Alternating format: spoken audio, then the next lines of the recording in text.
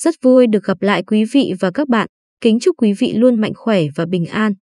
Hôm nay kính mời quý vị theo dõi bài Nguyễn Đức Trung sốc nặng nhận án lần 3 sau khi đã chung rất nhiều tiền. Cựu Chủ tịch thành phố Hà Nội, ông Nguyễn Đức Trung. Hôm 27 tháng 12 ra hầu tòa vì lợi dụng chức vụ, quyền hạn trong khi thi hành công vụ, quy định tại khoản 1 điều 281 Bộ luật hình sự 1999 với khung hình phạt tù cao nhất là 5 năm. Đây là vụ án thứ hai ông Trung bị truy tố với tội lợi dụng chức vụ, quyền hạn, với phiên tòa dự kiến kéo dài trong 5 ngày. Cùng ra trước vành móng ngựa với ông Trung trong phiên xử này là 6 người khác, gồm 4 cựu quan chức Hà Nội và hai lãnh đạo của công ty Đông Kinh. Những người này bị truy tố tội vi phạm quy định về đấu thầu gây hậu quả nghiêm trọng. Tóm tắt vụ án. Vụ việc liên quan tới hai gói thầu của Sở Kế hoạch và Đầu tư Hà Nội trong thời gian 2016 đến 2017 mà cáo trạng nói là đã làm thiệt hại cho nhà nước hơn 26 tỷ đồng và là vụ án thứ hai ông Trung bị đưa ra xét xử có liên quan tới công ty Nhật Cường. Trong gói thầu thứ nhất, ông Trung bị cho là đã chỉ đạo lùi ngày đóng thầu, lẽ ra đóng vào ngày 16 tháng 5, chậm lại 2 tuần. Việc chỉ đạo được cho là diễn ra sau khi ông Trung nhận được email nhờ và từ chủ công ty Nhật Cường nhằm tạo điều kiện cho liên danh Nhật Cường, Đông Kinh kịp nộp hồ sơ dự thầu. Gói thầu trị giá 42 tỷ đồng sau đó đã thuộc về liên doanh này, với Đông Kinh đảm nhận toàn bộ công việc và nhận được 29 tỷ đồng từ Nhật Cường. Nhật Cường hưởng lợi 13 tỷ đồng. Tại tòa, ông Nguyễn Đức Trung cho rằng việc chỉ đạo hoãn đóng thầu là trong phạm vi thẩm quyền của ông, khi đó đang giữ vị trí chủ tịch thành phố. Ông cũng nói rằng việc ông chỉ đạo cấp dưới như vậy là do ông thấy thủ tục thực hiện chưa đúng và cần bổ sung yêu cầu kỹ thuật khi gọi thầu. Và ông hoàn toàn không biết có email nhờ và được cho là gửi vào email cá nhân, không phải email công vụ của ông trước khi ra chỉ đạo. Trong gói thầu thứ hai năm 2017 trị giá 18 tỷ đồng mà liên danh Nhật Cường, Đông Kinh nhận được 16 tỷ nhờ thắng thầu. Đông Kinh cũng là bên đảm nhận toàn bộ công việc, nhận được hơn 10 tỷ đồng. Việc tổ chức đấu thầu và triển khai hai gói thầu với tổng trị giá 60 tỷ được giới chức xác định gây thiệt hại cho nhà nước 26 tỷ đồng, do nội dung công việc đã làm không đạt hiệu quả mong muốn. Bị xử trong ba vụ án riêng rẽ. Đúng hai tuần trước, hôm 13 tháng 12, ông Nguyễn Đức Trung bị tòa Hà Nội tuyên 8 năm tù do những sai phạm liên quan tới dự án đầu tư làm sạch nước ao hồ của thành phố. Một năm trước, hồi tháng 12 năm 2020, vị cựu lãnh đạo Hà Nội đã bị mức án 5 năm tù sau vụ xét xử đầu tiên với tội danh chiếm đoạt tài liệu bí mật nhà nước liên quan đến công ty Nhật Cường. Công ty Nhật Cường ngoài vụ án đang diễn ra còn bị xác định có nhiều sai phạm khác, trong đó có hoạt động buôn lậu điện thoại di động và thiết bị điện tử từ tháng 1 năm 2014 đến tháng 5 năm 2019, thu lợi bất hợp pháp 221 tỷ đồng. Nhiều lãnh đạo, nhân viên công ty Nhật Cường đã bị xét xử trong một vụ án riêng rẽ trong phiên tòa sơ thẩm hồi tháng 5 năm 2021 và phiên phúc thẩm tháng 11 năm 2021. Ông Bùi Quang Huy, giám đốc công ty Nhật Cường, đã bỏ trốn và hiện đang bị công an phát lệnh truy nã. Trong vụ án chiếm đoạt bí mật được xử kín, ông Nguyễn Đức Trung bị kết luận đã liên quan tới việc đánh cắp tài liệu mật trong thời gian từ tháng 7 năm 2019 đến tháng 6 năm 2020, đều liên quan tới Nhật Cường. Cáo trạng cho hay ông Nguyễn Đức Trung và vợ là bà Nguyễn Thị Trúc Chi Hoa là người có quyền lợi, nghĩa vụ liên quan trong vụ việc. Tuy nhiên, không rõ các tài liệu mật này liên quan tới các sai phạm nào của Nhật Cường, sai phạm đấu thầu hay buôn lậu. Trong vụ án tài liệu mật, ông Trung nhận tội ngay từ đầu và xin lỗi đảng về những sai phạm nêu trong cáo trạng. Tuy nhiên, trong hai vụ xử tội lợi dụng chức quyền, ông đều bác bỏ các cáo buộc của cơ quan công tố. Tin cho hay hơn một tuần sau khi tòa sơ thẩm ra phán quyết, hôm 22 tháng 12, ông Trung đã nộp đơn kháng cáo, từng được đánh giá là gương mặt sáng giá trong bộ máy lãnh đạo cấp cao của Việt Nam. Ông Nguyễn Đức Trung, tướng công an, trở thành Chủ tịch Ủy ban Nhân dân Hà Nội vào cuối năm 2015. Trong thời gian ông nắm quyền, Hà Nội đã thành công trong việc giành quyền đăng cai giải đua ô tô công thức 1, sự kiện thể thao quốc tế lớn, tuy sau đó giải đua đã phải hủy bỏ do Covid-19. Ông cũng được người dân nhắc đến nhiều trong các vụ giải cứu hàng chục công an, cán bộ bị người dân đồng tâm bắt giữ hồi tháng 4 năm 2017 và trong việc chỉ đạo điều hành phòng chống Covid-19 tại thủ đô trong thời gian dịch mới bùng phát. Tiếp theo chương trình kính mời quý vị theo dõi bài bình luận của Huy Đức, chống tham nhũng nhìn từ vụ Việt Á. Xét nghiệm COVID của Việt Á không được WHO công nhận không phải là chuyện lớn, không được WHO công nhận mà Bộ Khoa học Công nghệ tháng 4 năm 2020. Công bố là hồ sơ được WHO công nhận mới là chuyện tài đình. Thông tin sai sự thật này được giữ trên cổng thông tin chính thức của Bộ Khoa học Công nghệ cho tới khi vụ án bị công an khởi tố, cho dù không có bằng chứng ăn chia giữa Việt Á.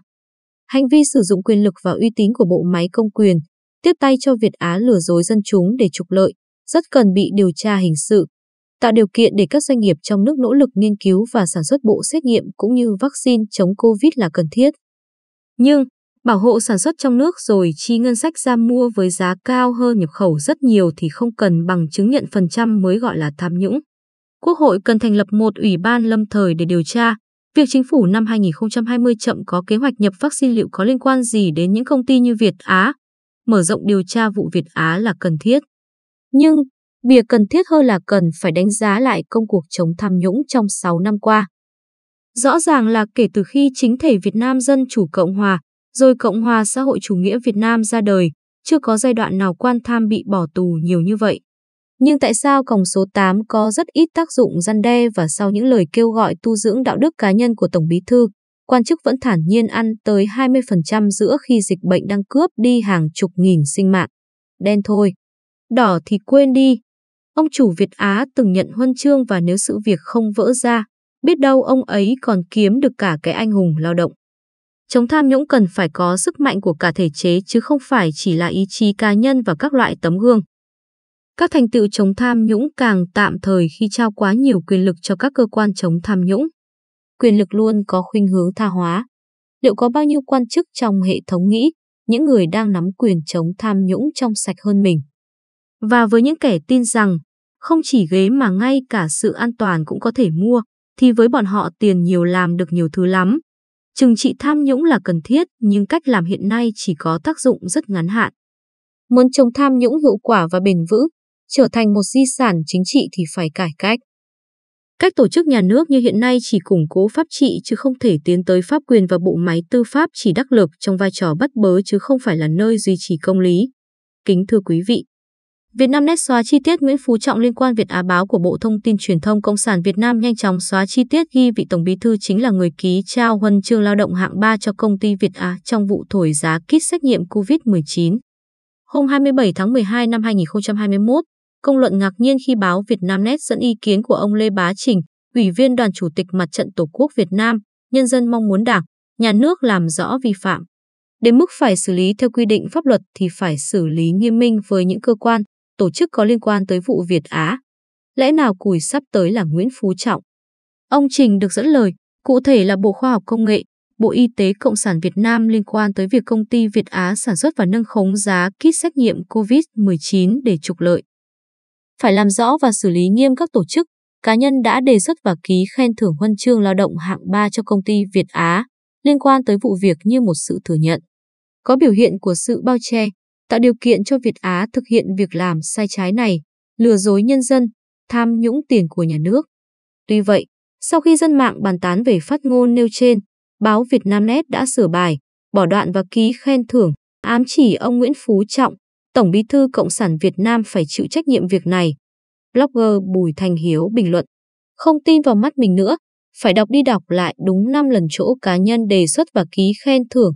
Cái này to chuyện đây, không rõ ở đây là nói đến cá nhân ký đề xuất khen thưởng hay là cá nhân đề xuất và cá nhân ký khen thưởng. Lẽ nào củi sắp tới là Nguyễn Phú Trọng? Đến giờ chưa thấy Nguyễn Xuân Phúc nói gì vụ này.